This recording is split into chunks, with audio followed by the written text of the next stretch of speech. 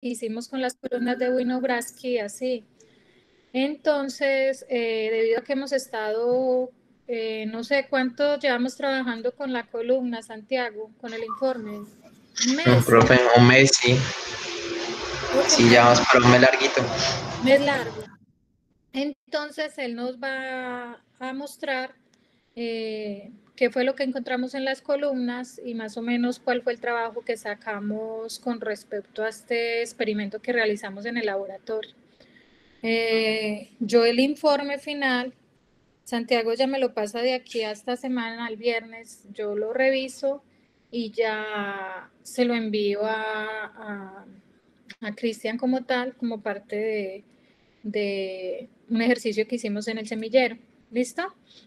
Entonces, no siendo más, pues le doy paso a Santiago para que nos muestre qué fue lo que hicimos. Si hay alguna duda, alguna inquietud, pues al final la, la resolvemos entre todos. ¿Listo? Santiago, te doy el turno. Bueno, entonces, ah, te la comparto pantalla. Hemos recorrido en cada una de las horas. Hemos recorrido en cada una de las horas. ¿qué, ¿qué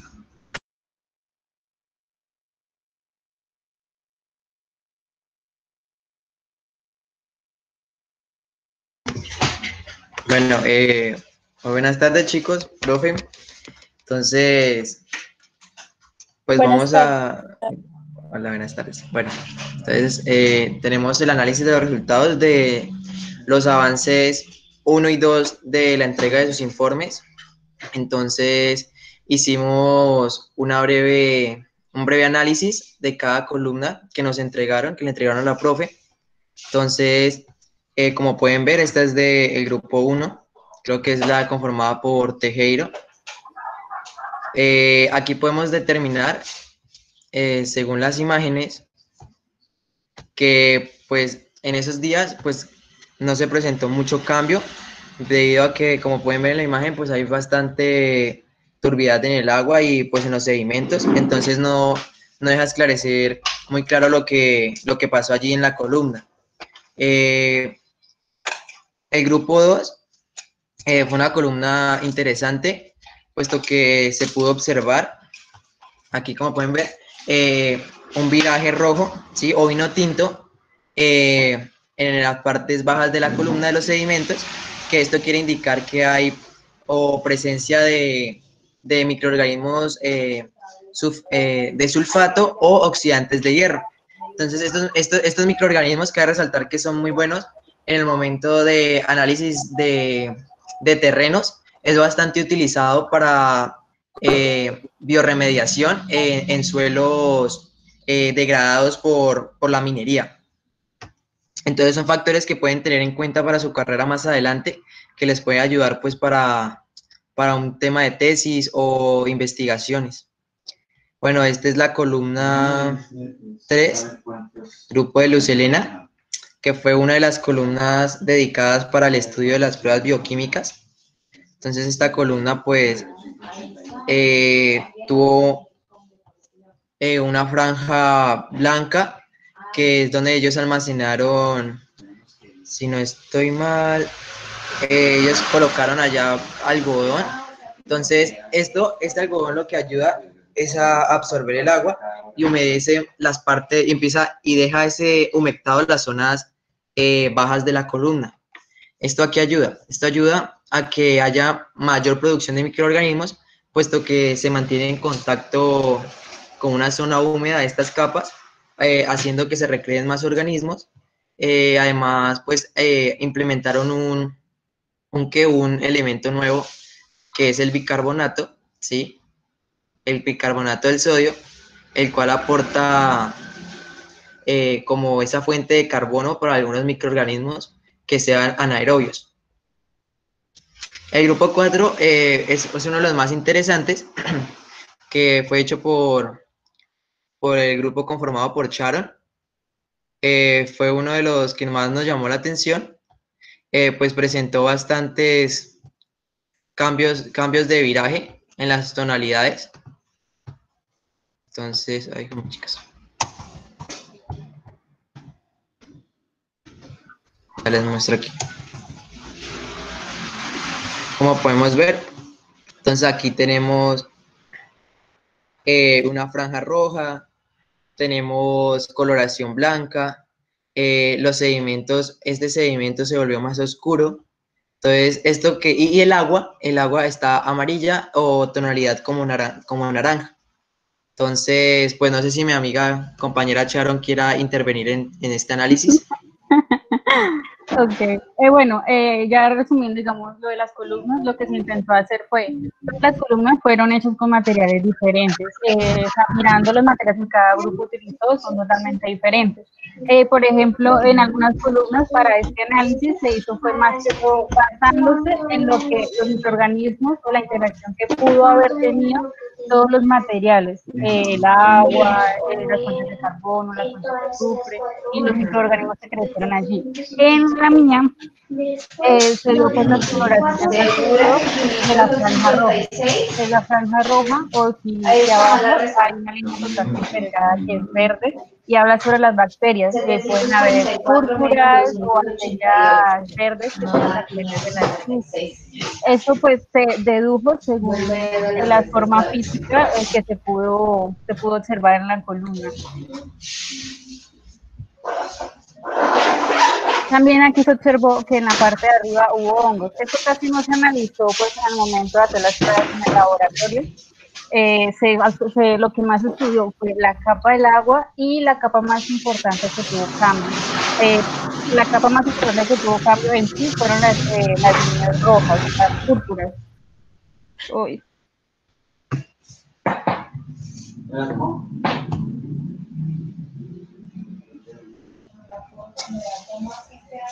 Eh, por ejemplo, yo hice la realización de, las columnas. Santi, ¿puedes, ¿puedes apagar el micrófono? Santiago, ¿se puede silenciar?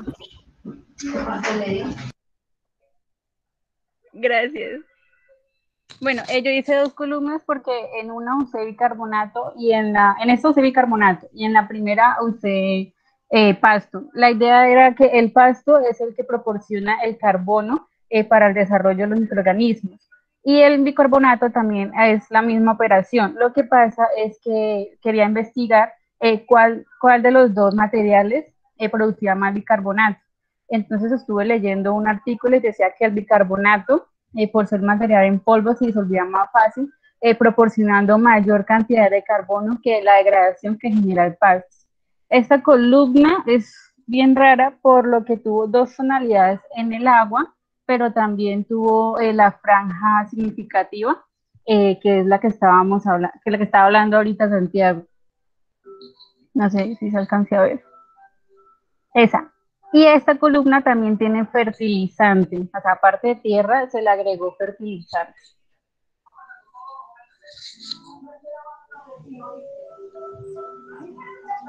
Y a esta le salió no solo hongo blanco, sino una mancha negra, que sería hongo negro o musli, algo así.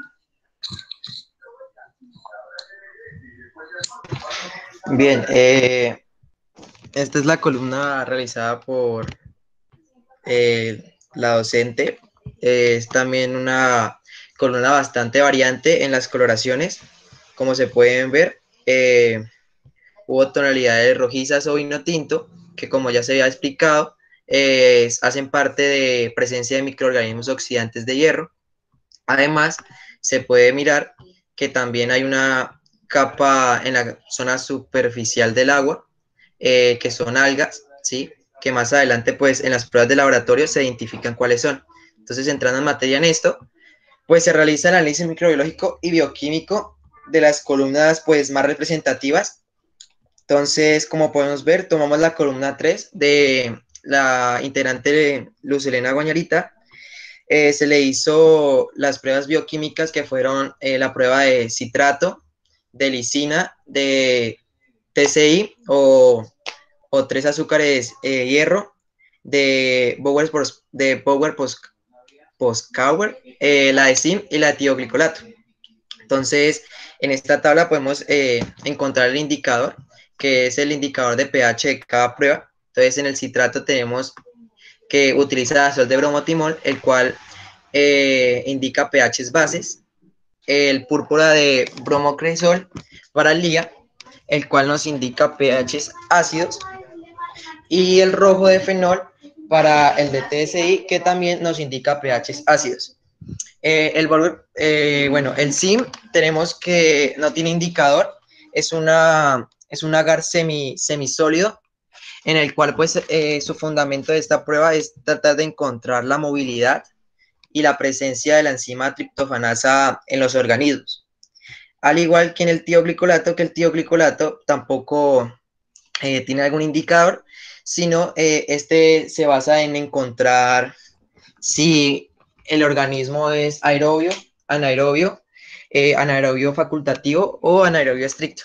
Esto dependiendo de la distribución del mismo en todo el medio. Entonces, como podemos ver aquí, eh, se ve, de, estuvo, estuvo, se desplayó durante todo el cultivo, ¿sí? En todo, en todo el. Entonces, esto nos quiere indicar que es un microorganismo anaerobio facultativo, ¿sí? Eh, en la prueba de SIM eh, hubo movilidad. ¿Cómo se sabe si hubo movilidad?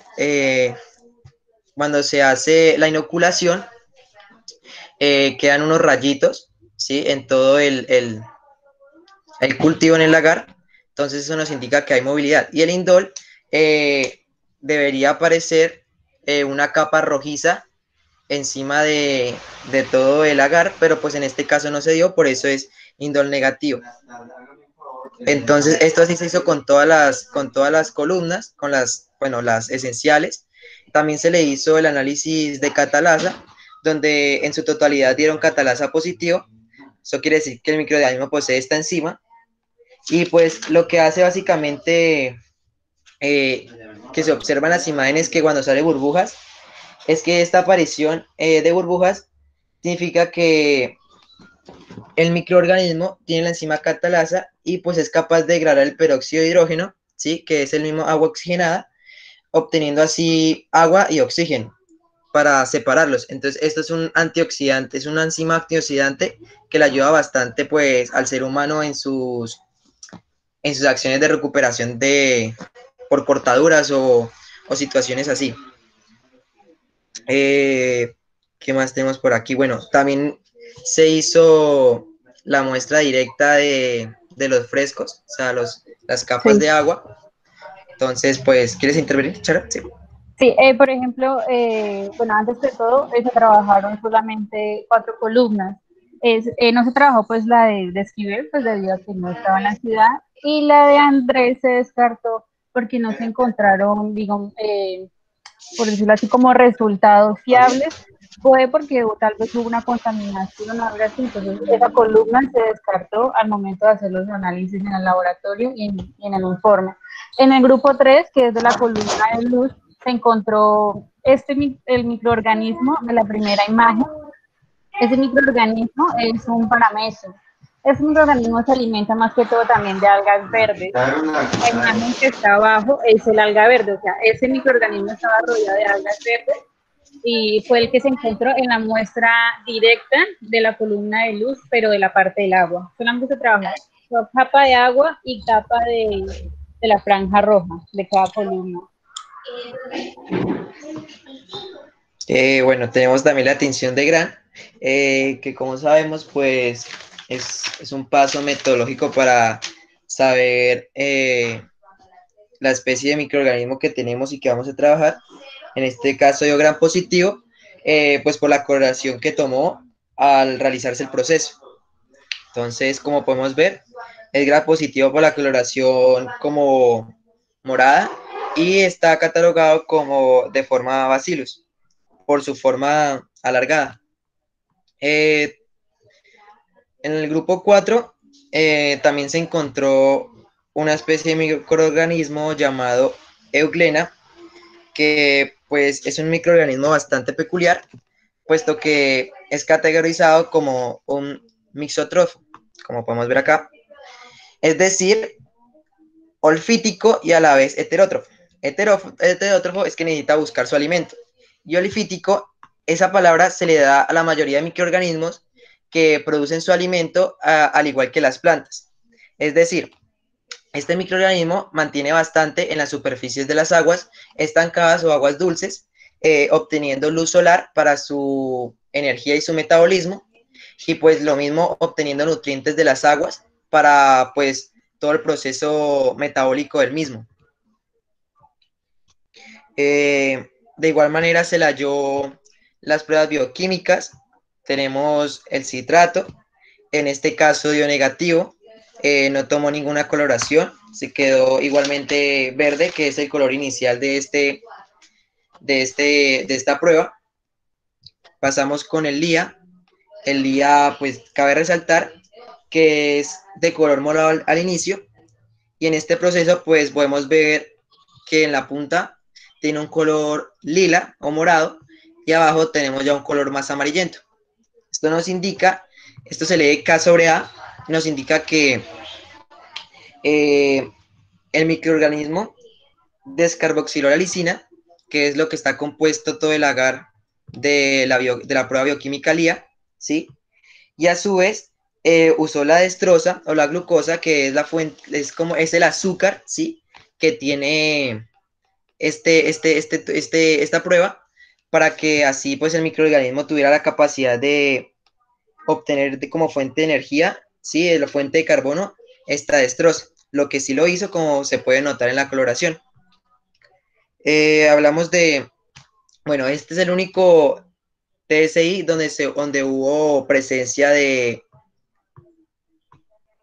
de ácido, eh, perdón, de sulfuro de hidrógeno eh, por, la por la tonalidad negra, ¿sí? Y a su vez pues se nota que hubo cambio amarillo también. Entonces esto nos indica que fue positivo para ¿Para qué? Bueno, esperen, les explico, les explico muy bien esta prueba. Entonces, el TSI eh, contiene tres azúcares, ¿sí? Contiene en la parte superior, contiene la sacarosa, ¿sí? En la parte media contiene la lactosa y en la base contiene la glucosa. Esto nos indica que cuando el microorganismo abarca todos los azúcares, da un inicio o un indicio de que puede ser el, microorganismo, si aerobio o anaerobio. En este caso, como abarcó todo, es una, puede ser un anaerobio facultativo que después se corrobora con la prueba de tioglicolato, donde efectivamente pues, nos arroja ese resultado. Además, la presencia del sulfato hídrico eh, quiere decir que al momento de él tomar todos los azúcares como fuente de carbono y al hacer su metabolismo como producto, eh, resulta este, este gas que pues se puede ver notado pues por la tonalidad negra. Eh, el SIM de este también fue eh, indol positivo. Tenemos una franja roja, ¿sí? Este, esta franja roja cuando hay indol positivo nos quiere indicar que el microorganismo tiene la enzima triptofanasa y a la vez desamina el triptofano o sea, el aminoácido que contiene este agar eh, TESIM.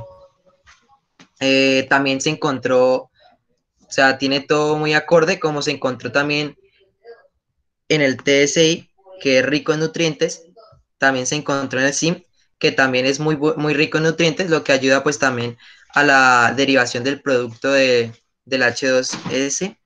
Eh, también continuamos, tenemos la columna 2, Sharon, si quieres eh, hablar de este. Eh, bueno, ahí también el microorganismo que se encontró en la parte del agua eh, fue el Oxyki. Eh, eso se diferencia del otro porque este es más ovalado, el otro era como más un rombo. Esto más que todo se encuentra en aguas dulces y el agua que se utilizó para la muestra fue de un caño que se encontraba en sequía cerca aquí a mi casa, lo mismo que la tierra. Entonces es es por eso que las características y el lugar de por qué este microorganismo se encuentra en la columna. Bueno, aquí las, las pruebas son las mismas. Eh, la mayoría de, estos microorganismos se presentan en todas las columnas. Eh, dieron que utilizan todo, todos los, los azúcares para su fuente de carbono es decir, que son organismos demasiado complejos que pues no requieren de un solo alimento, por decirlo así, en específico para sobrevivir. Eh, la catalasa, bueno, como ya había dicho, eh, dio catalasa positivo. Y aquí pues tenemos la tinción de gran.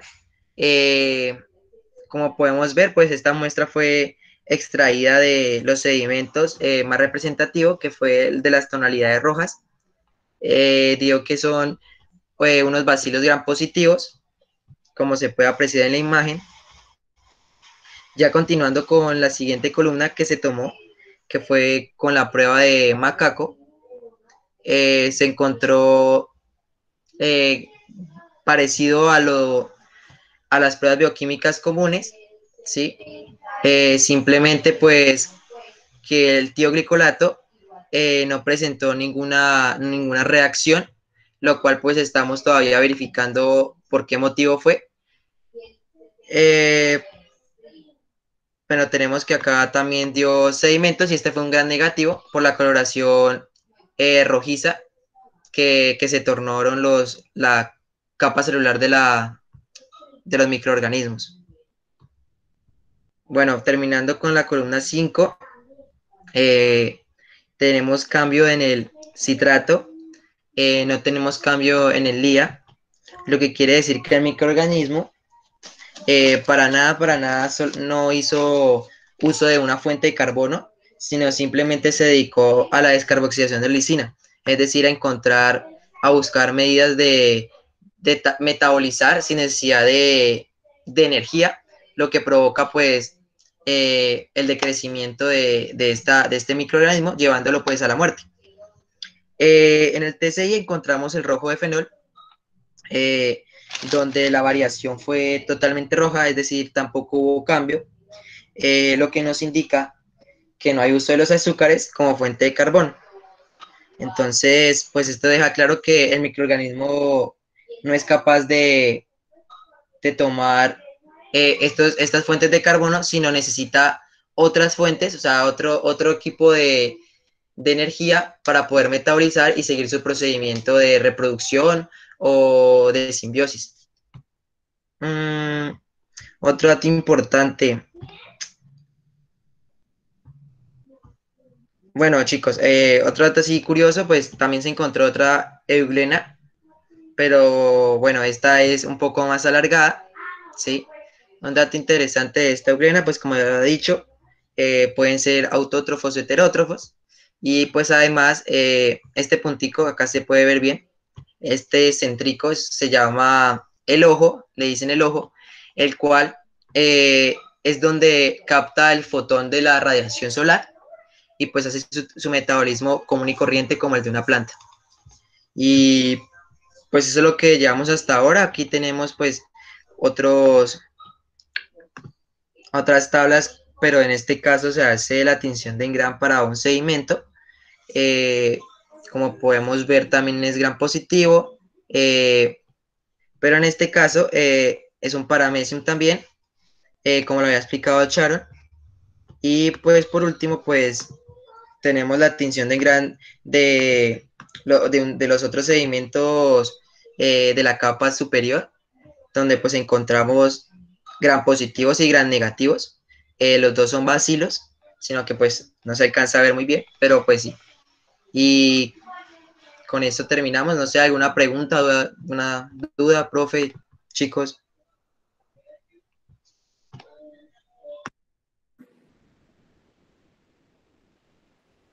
Santiago, muchas gracias. Muy completa el informe. No sé si alguno tiene alguna duda, alguna inquietud con respecto a, a lo que encontramos en la columna. Fue un trabajo bien interesante y gracias al apoyo de todos ustedes pues podemos llegar a, conclusiones importantes con respecto al experimento, ¿sí? Donde a mí me decía Santiago que cuál era el fin de en sí el trabajo. Pues el fin de en sí el trabajo era mirar cómo estas microhábitats, ¿sí? Cómo hay una interacción entre estos microorganismos y cómo ellos se especializan, ¿sí?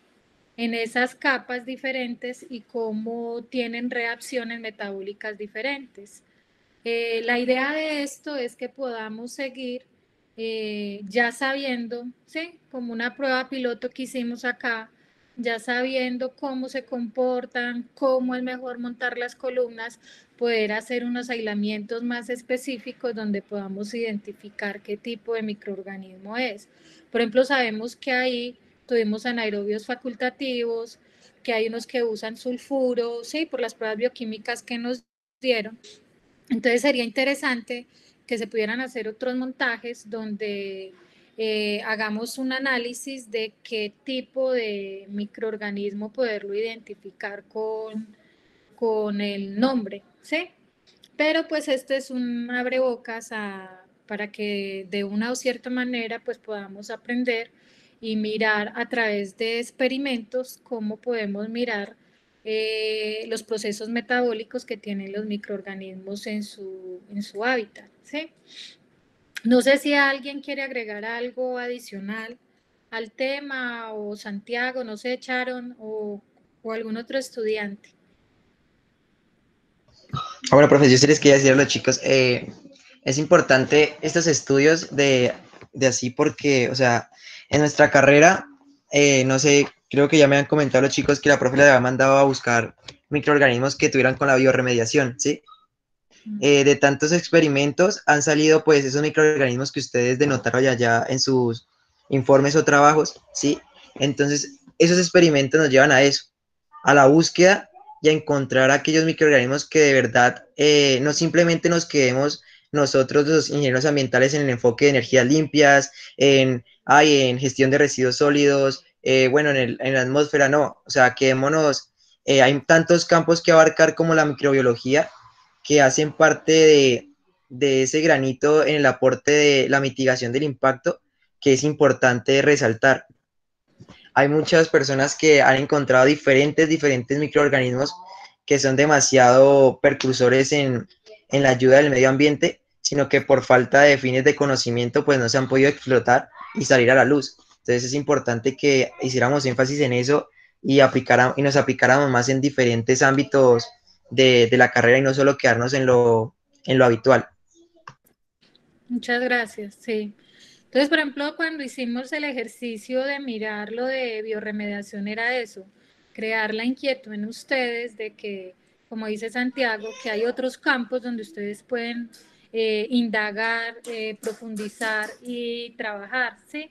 Para ayudar a mitigar toda esta contaminación que tenemos a través de microorganismos que degradan eh, por sus procesos metabólicos, pueden ayudar a degradar y a, bajar como esa carga de contaminación que tenemos en este momento. ¿Qué, ¿Cuál es la ventaja que tenemos con los microorganismos? Que no hay que, después de que ellos hacen su proceso, no hay que eliminarlos. Por ejemplo, a mí me preguntaba una estudiante con respecto a lo del el ejercicio que hicimos de bioremediación, que qué pasaba con esos microorganismos después de utilizarlos para, para eliminar, por ejemplo, algún componente. Entonces yo le decía, ¿qué es lo bueno de ellos? Pues ellos cuando ya se les acaba su sustrato, cuando ya no tienen más, pues ¿qué va a pasar con ellos? Se mueren. Es como si usted lo dejan sin comida, ¿sí? Usted agota totalmente sus recursos hasta que si no tiene más suministros, pues usted se va a morir. Eso mismo pasa con los microorganismos. Entonces, utilizándolos, nosotros no tenemos que mirar, venga, ¿y yo cómo los elimino? No, porque ellos, ¿sí? Como son eh, seres vivientes, pues ellos si no tienen ese sustrato, porque ya lo utilizaron, pues ellos van a, estar en un declive y pues van a morir. Entonces, esa es una de las ventajas de utilizar microorganismos que no tenemos que pensar, eh, venga, ¿y cómo lo elimino? No, porque la misma naturaleza, ¿sí? Se encarga de que, de que ellos se eliminen por completo. Eh, no sé si alguien más quiere hacer un aporte, alguna inquietud. ¿Cómo les pareció el ejercicio?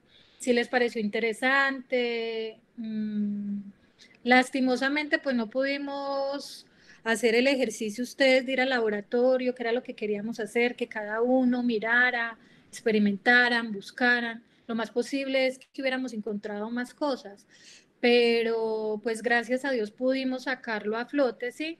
Nos dieron la autorización para entrar y hacer el proceso para poder tener pues la, la fortuna de saber qué, qué encontramos, sino haber dejado el ejercicio solo en una observación sino también en, en poder hacer los, los, análisis como tal. ¿Qué es importante en la investigación? Eh, a pesar de que ustedes hicieron un ejercicio de observación, eh, para un investigar es muy importante la observación, ¿sí? Mirar los cambios, mirar los cambios de cómo se fue formando cada capa, de cómo cambió de color, ¿sí? Entonces, una de las cosas cuando uno investiga es esto, la observación, porque hay estudios que solo son descriptivos, donde usted no va a hacer eh, un análisis experimental, sino solo va a describir. Entonces es muy importante para uno como investigador, pues la observación como tal, el proceso que ustedes hicieron. Eh, no sé, muchachos, eh, si alguien quiere hablar o, o todo está claro, o quieren aportar algo, no sé.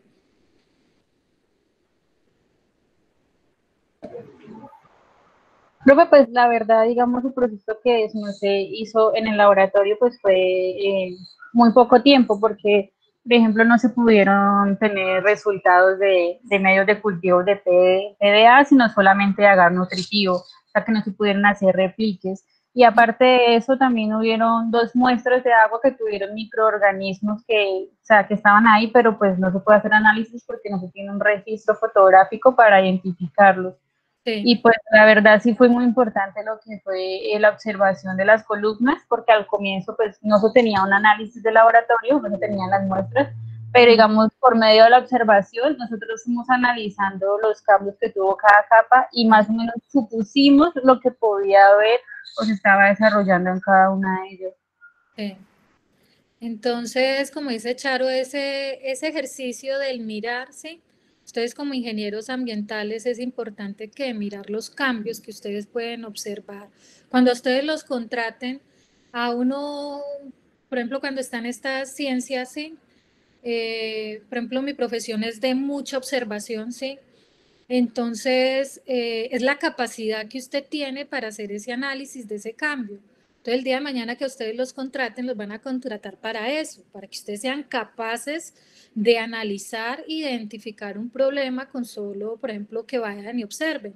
Y ustedes ya dicen, ah, no, ahí hay tal cosa, así como decía Charon, ah, no, en, ese, en esa columna crecieron algas, ¿sí?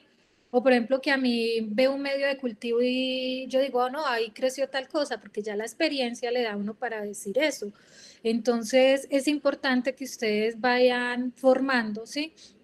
En este proceso académico que tienen, la observación. Y no solo la observación, sino el análisis de por qué me da eso, ¿sí? No quedarme solo con que, ah, sí, muy bonito, cambió de verde a azul, pero ¿por qué? Sí, haceme la pregunta el por qué, ir un poquito más allá, porque el día de mañana, pues ustedes van a tener que contestar en la realidad de su profesión el por qué porque los van a contratar, es para eso. Deme la solución de por qué se da esto. Entonces, si ustedes saben la causa, pues van a saber el efecto y van a saber la solución. ¿Sí? Entonces, en sí ese era el ejercicio. Muchachos, no sé, ¿alguien más opina? Eh, no sé si quieren dar alguna otra opinión. Eh, de antemano, pues darles las gracias Voy a parar la grabación.